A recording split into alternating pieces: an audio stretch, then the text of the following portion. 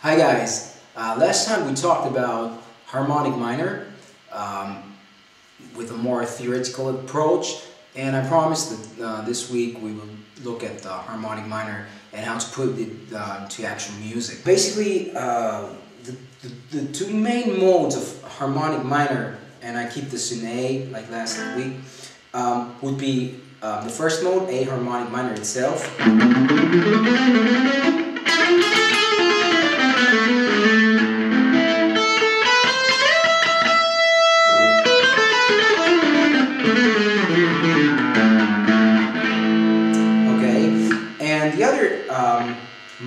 Be um, the fifth degree of the scale, um, in her case E, the E dominant 7 chord, and that mode is called Phrygian dominant or Phrygian major, okay? So for those of you who are into modes and are familiar with Phrygian, all you do is you, you take your Phrygian scale,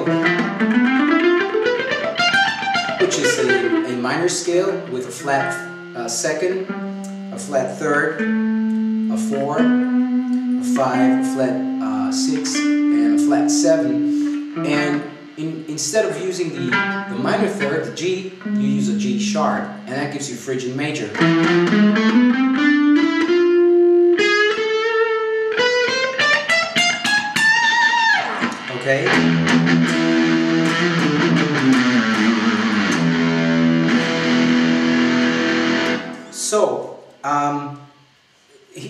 Just give you a few ideas on what to play um, in harmonic minor or uh, Phrygian major. Um, obviously, um, since the, the G sharp is the note that kind of creates um, the particular uh, A harmonic minor E Phrygian dominant sound, you may want to find um, within your scale, uh, you may want to find uh, shapes that have that G uh, sharp in them.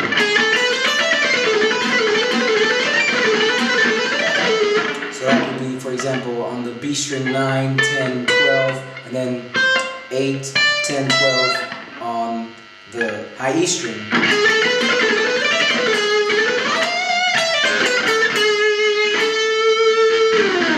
Okay, so wherever you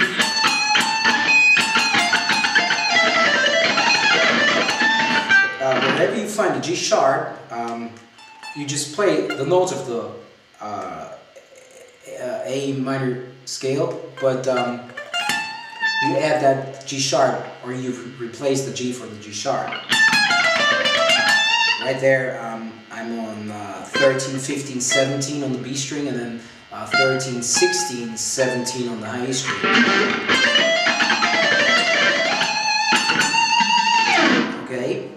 Um, here's a cool thing uh, I found about um, I found about the uh, harmonic minor scale. Um, thanks to the G sharp instead of the G, um, we get three half steps in the scale. So the first half step would be between the G and the A, which is seven root. Then we have another one between the second and the minor third. And then we have another one between the, five and uh, flat six. Okay? So in our case, it's G sharp A, B to C, and E to F. So wherever you find these three half steps on your uh, fretboard,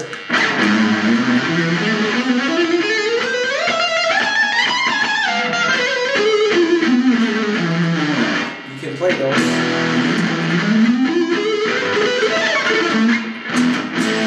And you can create automatically, instantly create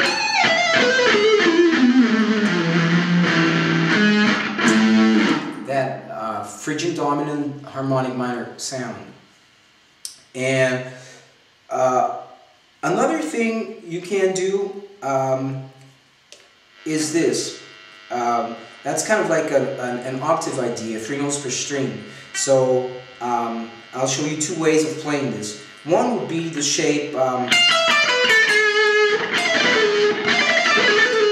so that would be uh, 13, 12, 10, and then 12,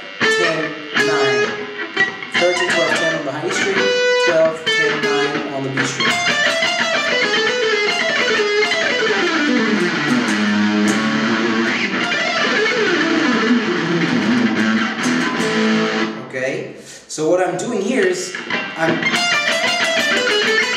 repeating that in octaves. So the next octave would be on the G string 10, 9, 7, and then on the D string 9, 7, 6, and then repeat on the A string uh, 8, 7, 5 to E string 7, 5, 4.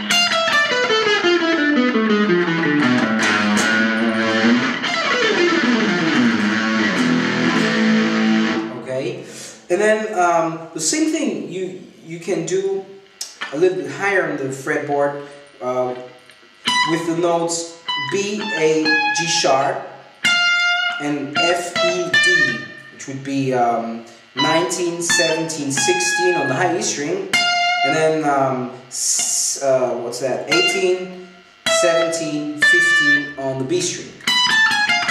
And then you just repeat that in octaves. Okay, which would be uh, 16, 14, 13 on the G string. And then on the D string we have 15, 14, 12, and then we have um, 14, 12, 11 on the A string, and 13, 12, 10 on the low E string.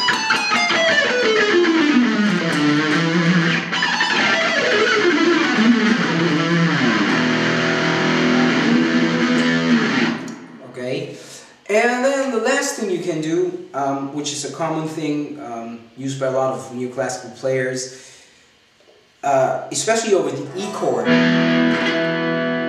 you can use the notes F, D, B, and G sharp.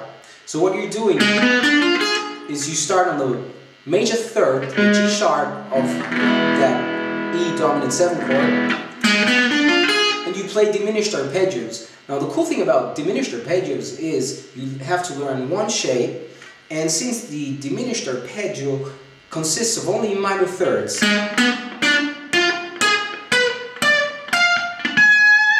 okay, all you have to do is find those minor thirds. In, in, in, our case, um, I'll give you one shape. Um, G string, 1, 4, B string 3, E string 1, 4. Okay? And if you get familiar with that shape, for example, you may want to do a sweep down, up, up, up.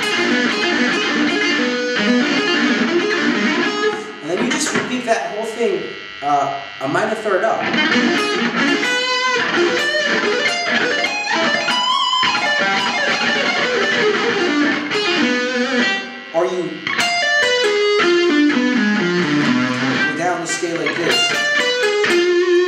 I'm starting on the 13th fret of the high E string, 13, 10, and then I do, um, well you can do this, let's do this, two notes per string. Um, 12, 9 on the B string, 10, 7 on the G string, 9, 6 on the D string, 8, 5 on the A string, and 7, 4 on the low E string, which gives you this.